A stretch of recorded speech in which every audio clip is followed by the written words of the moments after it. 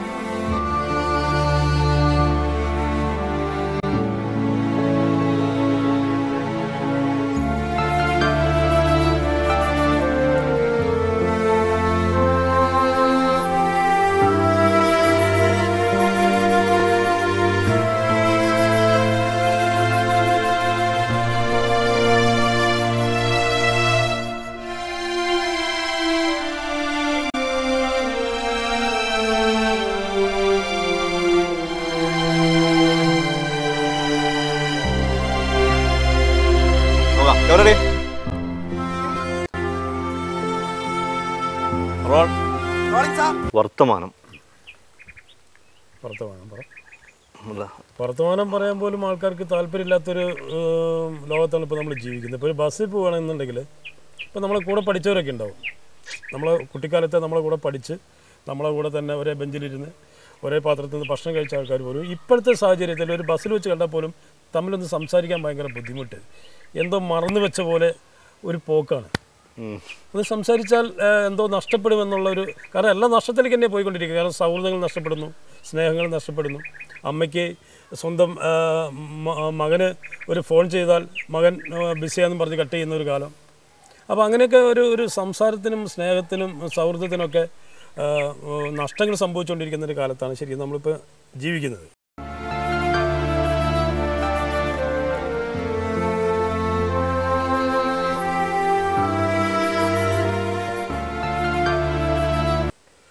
അപ്പോൾ ഇനി ഇനി ഇതിൽ കൂടുതൽ തന്നെയായിരിക്കും. കാരണം ഈ മക്കൾക്ക് അച്ഛനമ്മമാരോടും അതുപോലെ തന്നെ സുഹൃത്തുക്കൾക്ക് സുഹൃത്തുക്കളോടും ഒക്കെ സംസാരിക്കാനും ഇടപഴകാനൊക്കെ ഇനിയുള്ള കാലങ്ങളിൽ ഒരുപാട് ബുദ്ധിമുട്ടുണ്ടാകുന്ന ഒരു കാലമായിരിക്കും വർത്തമാനങ്ങൾ നഷ്ടപ്പെട്ടുകൊണ്ടിരിക്കുന്നു വർത്തമാനങ്ങൾ നഷ്ടപ്പെട്ടുകൊണ്ടിരിക്കുന്നു. അത് നഷ്ടപ്പെടാൻ കാരണം എന്ന് വെച്ചിട്ടുണ്ടെങ്കിൽ ഇതാണ്. കാരണം മനുഷ്യന്റെ പാച്ചലാണ്.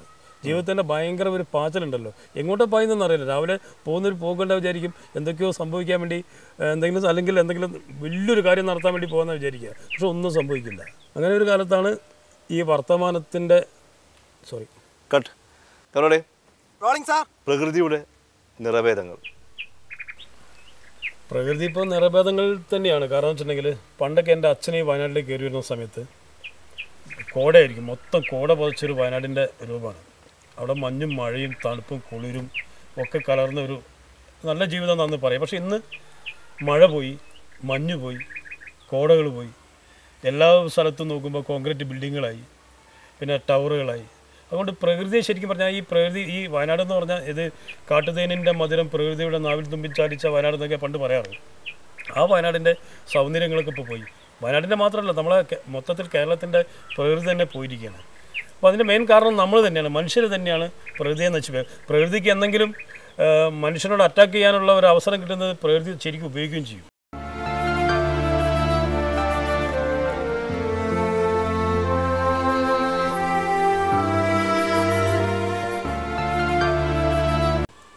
കാരണം പ്രകൃതി അത്രയ്ക്കും നമ്മൾ നോവിച്ചുകൊണ്ടിരിക്കുകയാണ്. മനോഹരമായ ഈ പ്രകൃതിയെ ഓരോ സമയത്തും തോണ്ടി തോണ്ടി തോണ്ടിയെടുത്ത് ആ പ്രകൃതിയുടെ നല്ല നല്ല രൂപം വികൃതമാക്കിക്കൊണ്ടിരിക്കുകയാണ് ഇന്ന് നമ്മൾ മനുഷ്യരോരോരുത്തരും ഓക്കെ കട്ട് അല്ല അതിന്റെ കുറ്റക്കാർ നമ്മൾ തന്നെയാണല്ലോ. കാരണം എന്ന് വെച്ചിട്ടുണ്ടെങ്കിൽ പ്രകൃതി ഞാൻ ചോദിച്ചോട്ടെ ഇപ്പോൾ ഒരു മരങ്ങൾ മരങ്ങളാണ് പ്രകൃതിയുടെ ഏറ്റവും ഒരു തണൽ എന്ന് പറഞ്ഞത് ശരിക്കും പറഞ്ഞിട്ടുണ്ടെങ്കിൽ മരങ്ങളാണ്. ഈ മരങ്ങൾ ഇപ്പോൾ എവിടെയുള്ളത്?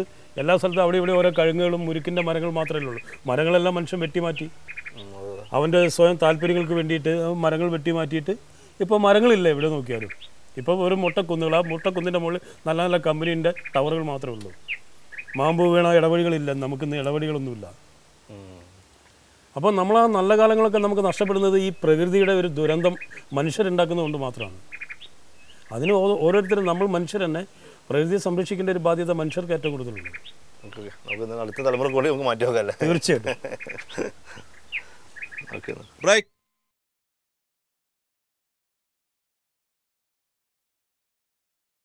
Roll. Rolling sir. സിനിമയും ജീവിതവും. സിനിമ വേറെ ജീവിതം വേറെ. കാരണം ജീവിതത്തിന് ദുഃഖങ്ങളും ദുരിതങ്ങളും പ്രയാസങ്ങളും സങ്കടങ്ങളൊക്കെ ഉണ്ടാവും. പക്ഷെ സിനിമയ്ക്ക് വേണമെങ്കിൽ എത്ര വേണമെങ്കിലും കളറുകൾ കൂട്ടാം വർണങ്ങൾ ഉണ്ടാക്കാം സ്വപ്നങ്ങൾ ഉണ്ടാക്കാം. പക്ഷേ എന്റെ അഭിപ്രായത്തിൽ എന്റെ ജീവിതം ശരിക്കും പറഞ്ഞിട്ടുണ്ടെങ്കിൽ സിനിമ പോലെ തന്നെയാണ്. കാരണം കുട്ടിക്കാലത്തെ ഒരു സിനിമാക്കാരനാകണം എന്ന് ആഗ്രഹിച്ച ഒരാളാണ് കാരണം അന്ന് പിന്നെ ഈ സിനിമയുടെ നിറങ്ങളൊന്നും അറിയില്ലെങ്കിലും അതിന്റെ വർണങ്ങളും അവിടുത്തെ പ്രശ്നങ്ങളൊന്നും അറിയില്ലെങ്കിൽ പോലും അന്ന് മനസ്സ് നിറച്ച സിനിമയായിരുന്നു. അന്ന് എന്റെ ഇഷ്ടം പ്രണയമൊക്കെ സിനിമയോടായിരുന്നു ശരിക്കും പറഞ്ഞിട്ടുണ്ടെങ്കിൽ.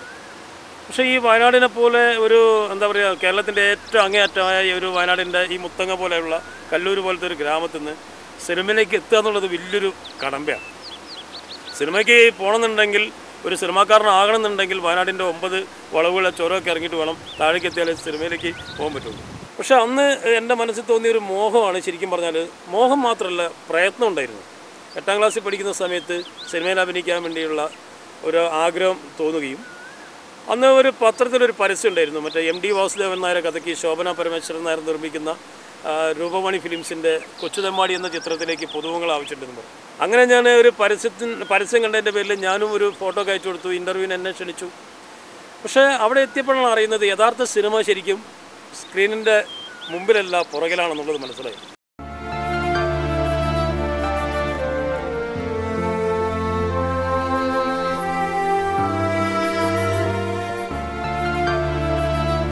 പിന്നെ ചാൻസ് ഒന്നും കിട്ടിയില്ല അവസരമൊന്നും കിട്ടാതെ പല വഴികളിലൂടെ അലഞ്ഞ് ഒന്ന് രണ്ട് വർഷങ്ങൾ അങ്ങനെ പോയി. പാലക്കാടും എറണാകുളത്തുള്ള പല ഹോട്ടലുകളിലൊക്കെ എച്ച് പ്ലേറ്റുകൾ കഴുകിയൊക്കെ ആയിരുന്നു. ഒരു സിനിമാ നടനാകണം എന്നുള്ള മോഹം ഉള്ളിൽ വെച്ചുകൊണ്ട് ഞാൻ പല ജോലികളും ചെയ്തു. കാരണം നാട്ടിലേക്ക് എനിക്ക് വരാൻ പറ്റിയില്ല. കാരണം ആൾക്കാർ കളിയാക്കുമല്ലോ. എവിടെ പോയാലും കളിയാക്കും. എല്ലാവരും ചോദിക്കും ദൈവത്തിന്റെ മോൻ സിനിമാ നടനാകാൻ വേണ്ടി പോയതാണ്. ഇനി നടനായിട്ടോ വരുള്ളൂ എന്നൊക്കെ എപ്പോഴും എപ്പോഴും ചോദിക്കുമ്പോൾ അവർക്ക് തന്നെ ഒരു പരിഹാസമായിട്ട് മകനെക്കുറിച്ചൊരു പരിഹാസം അന്ന് അച്ഛനും അമ്മയ്ക്ക് തന്നെ ഉണ്ടായി. അവൻ എവിടെയാണെന്ന് പോലും അറിയാത്തൊരവസ്ഥയാണ് അന്ന് ഇതുപോലെ ഫോണൊന്നുമില്ലല്ലോ മൊബൈലൊന്നുമില്ലല്ലോ. അപ്പോൾ ആകപ്പാടെ എപ്പോഴെങ്കിലും ഒരു ഒരു കാർഡിൽ ഒരു കത്തയക്കും സുഖമാണമ്മേ മറ്റു കാര്യങ്ങളൊക്കെ പറഞ്ഞിട്ട് അയക്കും വല്ലപ്പോഴും കിട്ടുന്ന കുറച്ച് പൈസയും വീട്ടിലേക്ക് അയക്കും. പക്ഷേ എനിക്ക് പ്രതീക്ഷയായിരുന്നു പിന്നെ ഒരു സിനിമയിൽ അഭിനയിച്ചിട്ടേ നാട്ടിലേക്ക് പോകാൻ പറ്റുമെന്നുള്ളതിന് അങ്ങനെയാണ് അവിടെ ഒരു പാലക്കാട് ഒരു ഷൂട്ടിംഗ് നടന്നിരുന്നത്. മമ്മൂട്ടിന്റെയാണ് പടം. ഒരു വക്കീൽ മമ്മൂട്ടി ഇങ്ങനെ ഇറങ്ങി വരുമ്പോൾ ഞാൻ അങ്ങോട്ട് പോകുന്നതായിട്ട് അഭിനയിക്കാൻ വേണ്ടി എന്നെ ഒരാൾ വിളിച്ചുകൊണ്ടുപോയി. അന്ന് ഈ ഉറുമ്പ് അരിമണി കൂട്ടി വെക്കുന്ന പോലെ കുറച്ച് കാശൊക്കെ ഞാൻ കൂട്ടി വെച്ചിരുന്നു. ഈ ഈ ഹോട്ടലിൽ നിന്ന് കിട്ടുന്ന പൈസയൊക്കെ ഞാൻ ഇയാൾക്ക് കൊടുത്തിട്ടാണ് ഞാൻ അതിൽ പോയി അഭിനയിച്ചത്. അപ്പോൾ മമ്മൂട്ടി ഇങ്ങോട്ട് വരുന്നു ഞാൻ അങ്ങോട്ട് നടന്നു പോകുന്നു. ഇതാണ് എന്റെ ഷോട്ട് പക്ഷേ പടം ഇറങ്ങിയപ്പോൾ എന്റെ ഒരു ഷർട്ടിന്റെ ഒരു ഔട്ട് ബോക്സ് മാത്രമേ ഉണ്ടായിരുന്നുള്ളൂ. അതായിരുന്നു എന്റെ ജീവിതത്തിലെ ആദ്യത്തെ അഭിനയം. അതെല്ലാം കഴിഞ്ഞ് പിന്നെ അവിടുന്ന് രണ്ട് കൊല്ലം കഴിഞ്ഞ് നാട്ടിലേക്ക് തിരിച്ചെത്തിയപ്പോൾ സിനിമാ നടനാകാൻ എന്തായാലും പറ്റുന്നില്ല എന്ന് തോന്നി തിരിച്ചു വന്നു. അപ്പോൾ നാട്ടിലുള്ള എല്ലാവരും എന്നെ കളിയാക്കാൻ തുടങ്ങി. നമ്മളിപ്പോൾ പാടത്ത് കൊയ്യുന്ന അമ്മയ്ക്ക് പിന്നെ കഞ്ഞിയായിട്ട് പോയാൽ ചോദിക്കും ഇതേത് പടത്തിന്റെ സീനാണ് ഇല്ലെങ്കിൽ നമ്മൾ വേറെ എന്തെങ്കിലും ഒരു അച്ഛനും ഹോസ്പിറ്റലിൽ കിടക്കുമ്പോൾ ഒരു ബ്ലാസ്ക് ചായയായിട്ട് പോകുമ്പോൾ ചോദിക്കും ഇതേത് പടത്തിന്റെ സീനാണ് അങ്ങനെ എല്ലാവരും കളിയാക്കി കളിയാക്കിയപ്പോൾ മനസ്സിൽ അന്ന് കുറിച്ചിട്ട് എന്തെങ്കിലും ഒരിക്കൽ സിനിമയിൽ എന്റെ പേരോ മുഖമോ കാണിക്കണം എന്നുള്ള ഒരു വാശി എന്റെ മനസ്സിലുണ്ടായിരുന്നു. അതിനുവേണ്ടി പ്രയത്നിച്ച് പ്രയത്നിച്ച് പ്രയത്നിച്ച് ഇങ്ങനെ ഇരിക്കുമ്പോഴാണ് പക്ഷേ ഒരു വഴിയും തുറന്നു കിട്ടുന്നില്ല അങ്ങനെ ഇരിക്കുമ്പോഴാണ് ഞാൻ ആ തിക്കുരിശി സുമാൻ എന്ന ആരെ പരിചയപ്പെടുന്നത്. അദ്ദേഹത്തിന്റെ കൂടെ അദ്ദേഹത്തിന്റെ മകൾ ബത്തേരിയിലായിരുന്നു. മകൾ ഒരു ആക്സിഡന്റിൽ മരിച്ചുപോയി. അപ്പോൾ ഒരു ബൈക്ക് ആക്സിഡന്റിൽ മരിക്കുകയും അദ്ദേഹത്തിന്റെ കുട്ടികൾ ആ ആ സ്ത്രീയുടെ കുട്ടികളെ നോക്കാൻ വേണ്ടി എഴുതി തിക്കുരിശിയുടെ ഭാര്യ ഇവിടെ എത്തുമ്പോൾ തിക്കുരിശിയുടെ അടുത്ത് ആരുമില്ലാത്തപ്പോൾ ഞാൻ അവിടെ ചെന്ന് കുറേ സഹായത്തിന് നിന്നിരുന്നു. അപ്പോൾ അങ്ങനെ ഞാൻ അദ്ദേഹത്തിന്റെ കൂടെ ഒരു വെറ്റിലിടിച്ചു കൊടുത്തും മരുന്നെടുത്ത് കൊടുത്തു ഒരു പരിചാരകനായി നിന്ന് പക്ഷേ ഇന്നലെ ചില കലാവാസനകൾ അദ്ദേഹം മനസ്സിലാക്കിയിരുന്നു. കാരണം ഞാൻ പലപ്പോഴും കുറച്ച് കവിതകളൊക്കെ എഴുതും കുറച്ച് കഥകളൊക്കെ എഴുതിയിട്ട് കാണിച്ചു കൊടുക്കും. അപ്പോൾ അത് ശരിയായിട്ടുണ്ടോ എന്നൊക്കെ ചോദിക്കും. അങ്ങനെ ഒരിക്കൽ ഇദ്ദേഹം എന്നോട് പറഞ്ഞു നീ ഇനി എന്റെ കൂടെ നിന്നാൽ ശരിയാവില്ല കാരണം ഞാൻ നാളെ തട്ടിപ്പോയാൽ മരിച്ചു പോയാൽ നീ ആൾക്കാർ ചോദിക്കും നിന്നോട് നീ ഇത്രയും കാലം അവിടെ പോയിട്ട് എന്താ നിനക്ക് എന്താ നിനക്ക് ഉണ്ടായ എന്താ നീ സമ്പാദിച്ചെന്ന് ചോദിക്കും അതുകൊണ്ട് നിനക്ക് ആരെ കൂടെ വർക്ക് ചെയ്യാനാണ് താല്പര്യം ചോദിച്ചു. അന്ന് ഞാൻ ആദ്യമായിട്ട് എനിക്ക് വർണങ്ങളും നിറങ്ങളൊക്കെ ഈ ഫ്രെയിമിൽ നല്ല ചിത്രം പോലെ വരയ്ക്കുന്ന ഭരതേട്ടനോടായിരുന്നു എനിക്ക് താല്പര്യം. അപ്പോൾ ഞാൻ പറഞ്ഞു എനിക്ക് ഭരതൻ സാറിന്റെ കൂടെ വർക്ക് ചെയ്യാൻ താല്പര്യമുണ്ടെന്നാണ് അങ്ങനെ ഒരു മദ്രാസിലേക്ക് ഒരു കത്തും തന്നിട്ടായിരുന്നു എന്നെ മദ്രാസിലേക്ക് വണ്ടി കയറ്റിയത്. പക്ഷേ ആ നല്ല മനുഷ്യൻ ഭരതൻ എന്ന് പറഞ്ഞാൽ വലിയ കലാകാരൻ എന്നെ കൂടെ നിർത്തുകയും താഴ്വാരം മുതൽ അദ്ദേഹത്തിന്റെ കൂടെ കുറേ ചിത്രങ്ങൾ സംവിധാനത്തിന്റെ കൂടെ ഞാൻ അസിസ്റ്റന്റായിട്ട് വർക്ക് ചെയ്യുകയും ചെയ്തു. അപ്പോഴൊക്കെ എന്റെ പേരൊക്കെ ഇടയ്ക്ക് കൈ ഇങ്ങനെ സ്ക്രീനിലൊക്കെ വരുമ്പോൾ നാട്ടുകാർക്ക് മനസ്സിലായി ഏകദേശം ഇവൻ ആൾ കൊള്ളാം എന്നൊക്കെ. ആയി അങ്ങനെ അങ്ങനെ ആയി പിന്നെ ഈ ഒരു രണ്ട് പടം ഡയറക്റ്റ് ചെയ്തു കുറേ ഡോക്യുമെന്ററി ഫിലിം ചെയ്തു കുറേ ഷോർട്ട് ഫിലിം ചെയ്തു കുറേ അവാർഡുകളൊക്കെ കിട്ടിയപ്പോൾ ആൾക്കാർ പറഞ്ഞു കുഴപ്പമില്ല. പിന്നെ ഒരു മേൽവിലാസമായി. പക്ഷേ ഞാൻ അനുഭവിച്ച പീഡനങ്ങൾ എന്ന് പറഞ്ഞിട്ടുണ്ടെങ്കിൽ ഞാൻ ഇവിടുന്ന് പോയിട്ട് തിരിച്ച് നാട്ടിലെത്തി നാട്ടിലെത്തിയപ്പോൾ ഈ കളിയാക്കലുണ്ടല്ലോ മനുഷ്യന്റെ ഒരു പക്ഷെ അതിന്റെ അർത്ഥം നമ്മളെ എത്ര ഒരാൾ കളിയാക്കുന്നു പരിഹസിക്കുന്നു അവിടെ നിന്നാണ് നമുക്ക് ഇമ്പ്രൂവ് ചെയ്യാൻ പറ്റുള്ളൂ.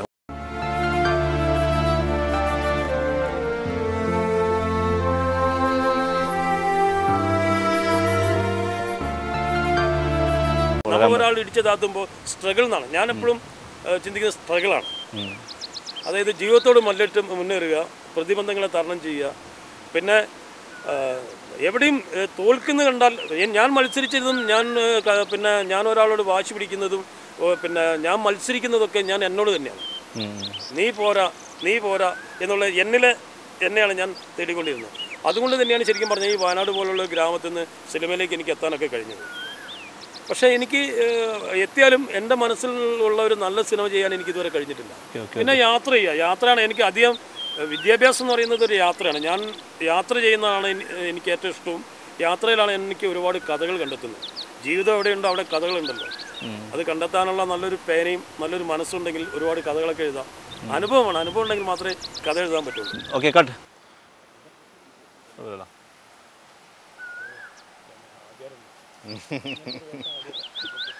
അജിയാറ് വേഷല്ലേ? ഓക്കെ എന്നാൽ. Okay camera ready? Roll. Rolling sir. തെറ്റും ശരിയും. തെറ്റും ശരിയെന്ന് പറയുമ്പോൾ അത് ഓരോരുത്തരുടെ കാഴ്ചപ്പാടാണ്. തെറ്റും ശരിയും. അപ്പോൾ എനിക്ക് ശരിയായി തോന്നുന്ന ഒരു കാര്യം മറ്റുള്ളവർക്ക് തോന്നണമെന്നില്ല. അപ്പോൾ എനിക്ക് തെറ്റായി തോന്നുന്നത് തെറ്റായിട്ട് തന്നെയാണ്. ശരിയായിട്ട് തോന്നുന്നത് ശരിയായിട്ട് തന്നെയാണ്. ഞാനെപ്പോഴും ഞാൻ ചെയ്ത് തെറ്റാണെന്നുണ്ടെങ്കിൽ ആ തെറ്റിന്റെ ഭാഗത്ത് നിന്നുകൊണ്ട് തന്നെ സംസാരിക്കുകയുള്ളൂ. അവിടെ ശരിയിലേക്ക് ന്യായീകരണം ഒരിക്കലും പോകാൻ ഞാൻ ശ്രമിക്കാറില്ല. എന്റെ ഭാഗത്ത് ശരിയുണ്ടെങ്കിൽ അത് നൂറ് ശതമാനം ശരിയാണെന്ന്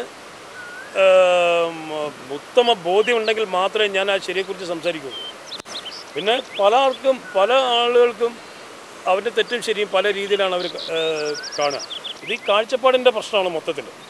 അപ്പോൾ ശരിയും തെറ്റും അവനവന്റെ കാഴ്ചപ്പാടനുസരിച്ച് ശരിയും തെറ്റും വേർതിരിക്കാനാവുള്ളൂ. ഒരു നെല്ലും പതിരും പോലെയാണ്.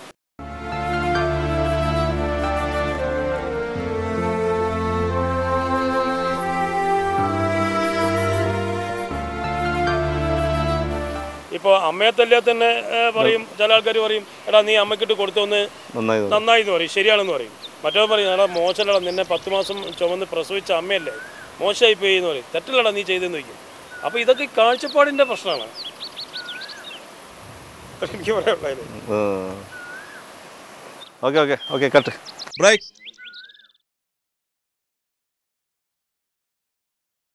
Tilt down മരണം ഇരുട്ടാണ്. മരണം ഒരിക്കലും ഇരുട്ടല്ലല്ലോ. മരണം ഇപ്പോൾ ഒരു ആഘോഷമാണ്. കാരണം ഇപ്പം മരിക്കാൻ കിടക്കുന്ന ഒരു അച്ഛൻ മക്കളൊക്കെ ചുറ്റും പല സ്ഥലത്തു നിന്നും വന്നിട്ടുണ്ടാവും. അവരന്വേഷിക്കുന്നത് അടുത്ത് ബീവറേജ് എവിടെയുള്ളതാണ് ആദ്യം അന്വേഷിക്കുക. കാരണം അച്ഛൻ ജീവിച്ചിരിക്കുമ്പോൾ അല്ലെ അമ്മ ജീവിച്ചിരിക്കുമ്പോൾ ഒരു തുള്ളി വെള്ളം മര്യാദ മര്യാദയ്ക്ക് കൊടുക്കാത്ത മക്കൾ അച്ഛന്റെ മരണവാർത്ത അറിഞ്ഞിട്ട് മൊബൈലിലൂടെ ആയിരിക്കും മരണവാർത്ത അധികം അറിയുക. കാരണം ആ മരിച്ചോ മരിച്ചോ ആ മരണം എത്തിയ സമയത്ത് മാത്രം കുടുംബസമേതം വന്നിട്ട് ആഘോഷിക്കുക.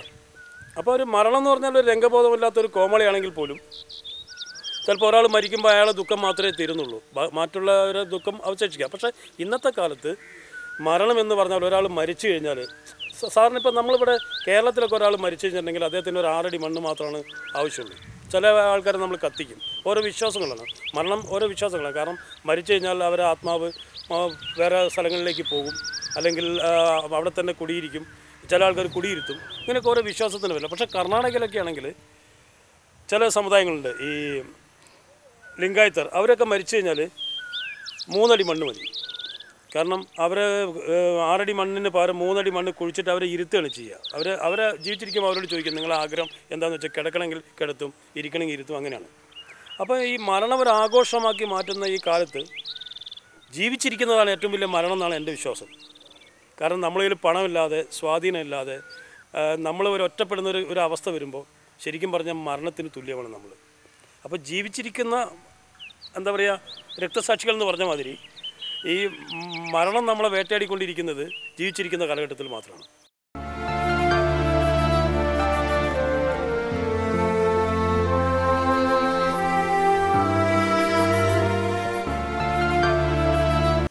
എനിക്കങ്ങനെ തോന്നിയിട്ടുള്ളൂ പലപ്പോഴും. കാരണം ആഘോഷങ്ങൾ എന്താ ആഘോഷങ്ങൾ? നാൽപ്പത്തൊന്ന് അടിച്ചു പൊളിക്കില്ലേ? ചോദ്യം ഇപ്പോൾ ഫസ്റ്റിൽ അച്ഛൻ മരിച്ചു? അല്ലെങ്കിൽ ആ അടുത്ത വീട്ടുകാർ വരുന്നു? അല്ലെങ്കിൽ സുഹൃത്തുക്കൾ വരുന്നു? അടിച്ചു പൊളിക്കണം. മുപ്പത്തൊന്ന് നാൽപ്പത്തൊന്ന് പതിനാറ് അടിയന്തരം കലക്കണം എന്ന് പറഞ്ഞിട്ടാണ് ഓരോരുത്തർ ഇപ്പോൾ വരുന്നത്. അപ്പോൾ എന്ന് വെച്ചാൽ മരണം ആഘോഷം തന്നെയാണ് ഇരുട്ടല്ല ഒരിക്കലും. Okay cut.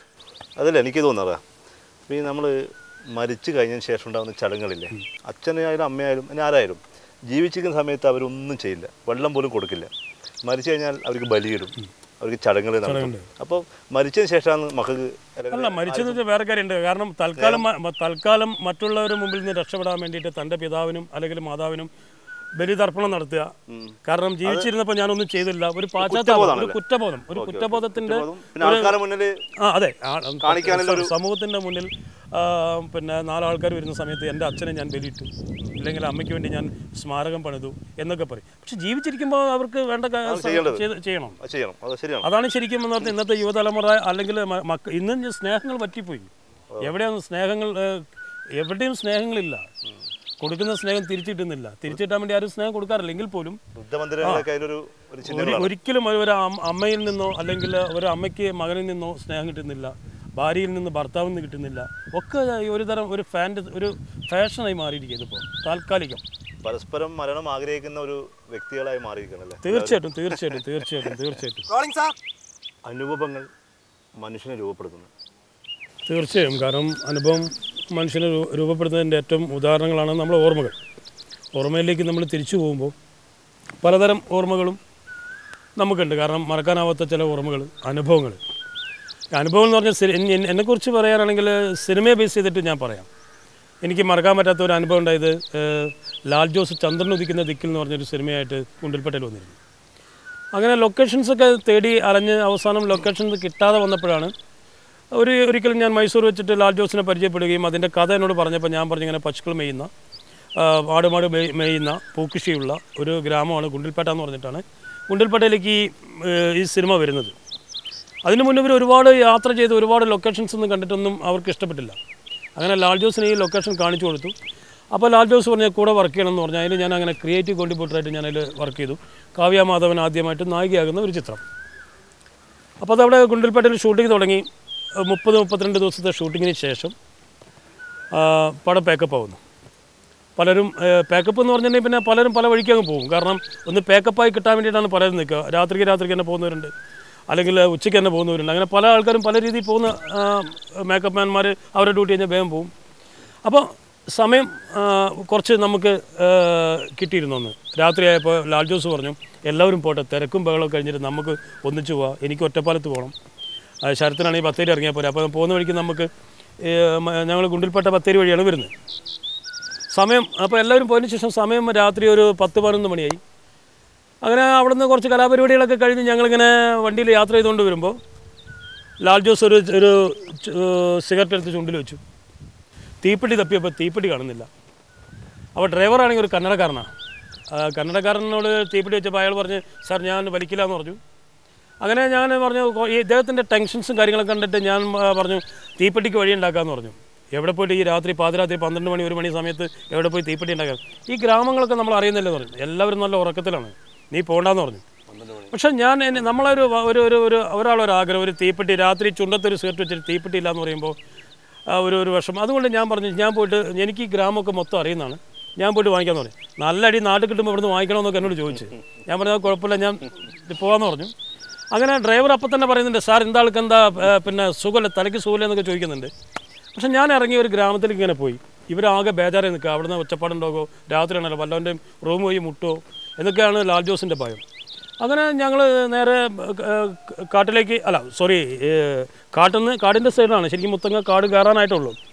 അപ്പോൾ അങ്ങനെ കർണാടകന്റെ ബോർഡറിൽ നിന്ന് നേരെ ഒരു ഗ്രാമത്തിൽ ചെന്ന് ഞാൻ ഒരു ഡോറിലേക്ക് മുട്ടാൻ നിൽക്കുമ്പോൾ പിന്നെ ഇവിടെ അവിടെ കേൾക്കുന്നത് എന്റെ നിലവിളി മാത്രമാണ്. അപ്പോൾ അവർക്ക് മനസ്സിലായി നല്ല അടി കിട്ടി. ഞാൻ ഓടി വരികയാണ്. വിട്ടോ വണ്ടി വിട്ടോ ലാലട്ട വണ്ടി വിട്ടോ എന്ന് പറഞ്ഞ് ഞാൻ ഓടി വന്ന് കാറിന്റെ എടുത്ത് കയറിയപ്പോൾ അപ്പം തന്നെ ഞാൻ നിന്നോട് പറഞ്ഞില്ല ഇപ്പോൾ പോണ്ട പോണ്ട പോണ്ടെന്ന് പറഞ്ഞു കയറി വണ്ടിയിൽ നിന്ന് പറഞ്ഞു.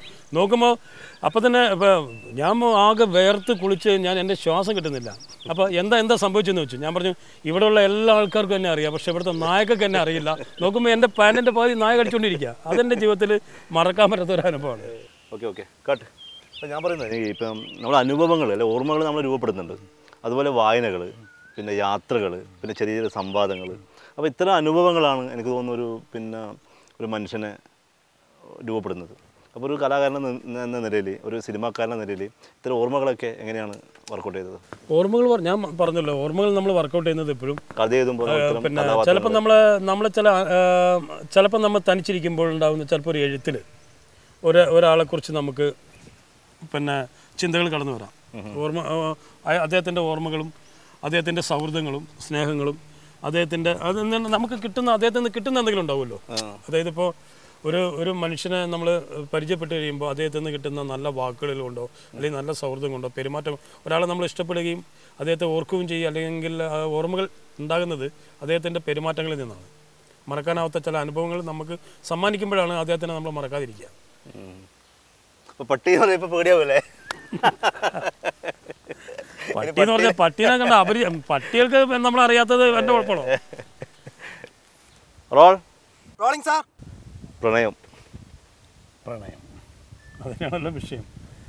പ്രണയം എന്ന് പറഞ്ഞാൽ പ്രണയമില്ലാത്തൊരു മനസ്സ് ശരിക്കും പറഞ്ഞാൽ മരുഭൂമിയിലെ പാഴ്മരം എന്നാ പറയാം.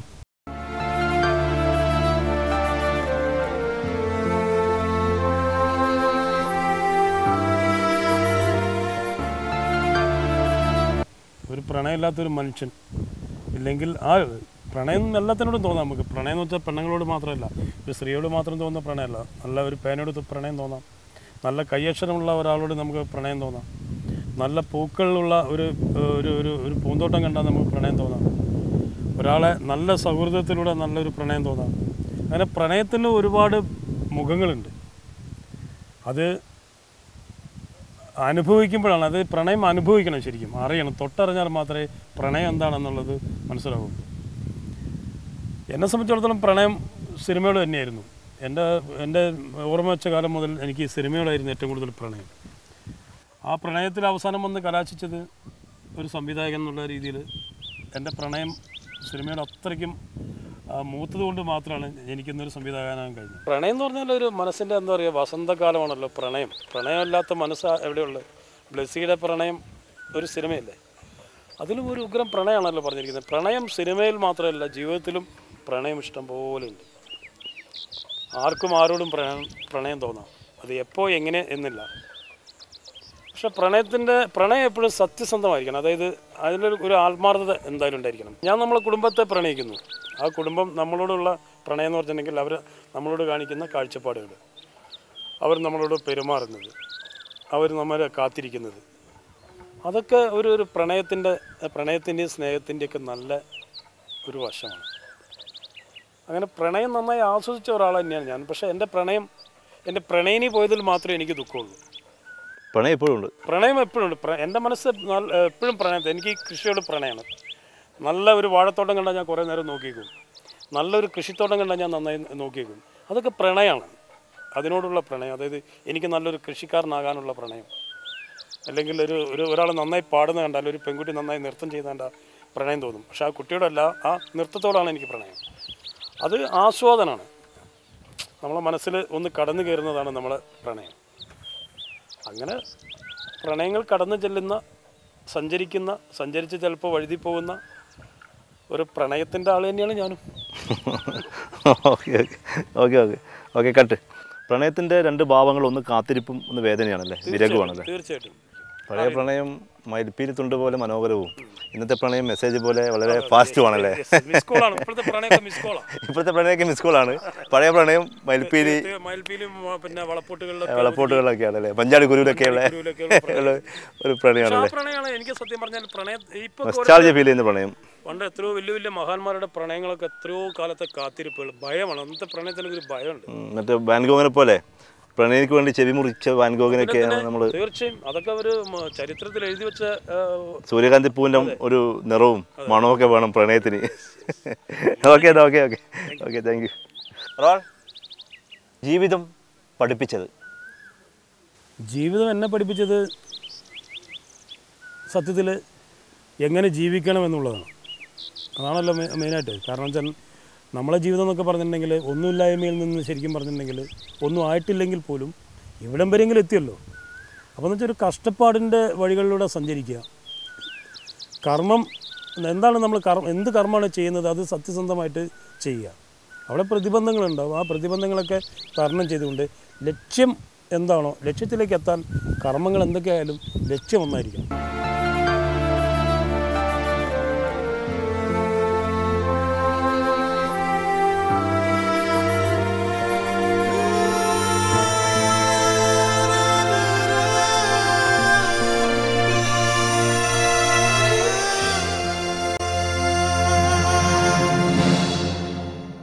ലക്ഷ്യത്തേക്ക് ലക്ഷ്യത്തിലേക്ക് എത്താൻ തീർച്ചയായിട്ടും കഠിനമായ ഒരു നല്ല മനസ്സും ഒരു പ്രയത്നവും തന്നെ വേണം. അതാണ് ശരിക്കും ജീവിതം എന്നെ പഠിപ്പിച്ചത്.